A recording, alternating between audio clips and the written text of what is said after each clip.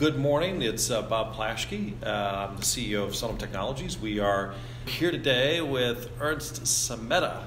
Um, Ernest and I um, have known each other for a few years. Um, Ernest is the CEO of Veryfi.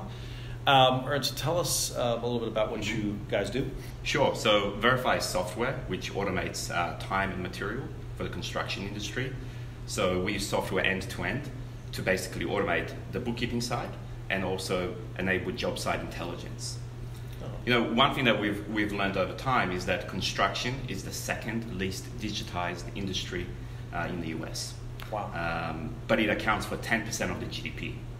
Wow, it's huge Yeah. opportunities for productivity and safety savings. Exactly, exactly. So what are some of the um, what are some of the, the examples or use cases that you guys um, uh, were able to um, deploy? Sure. helps the firms. Sure. Yeah, so as, as we spoke to a lot of our customers early on, we learned that one of the biggest problems is lack of the right tools. So there's a lot of different products out there, software products, but a lot of them cater for the individual in front of a computer.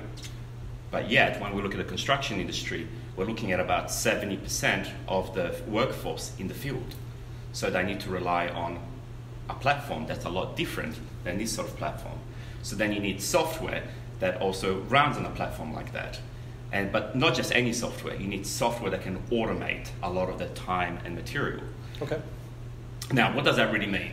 So, uh, the construction guys in the field, they're accruing a number of expenses, right? Right. So, spending money, buying materials, and so forth every single day.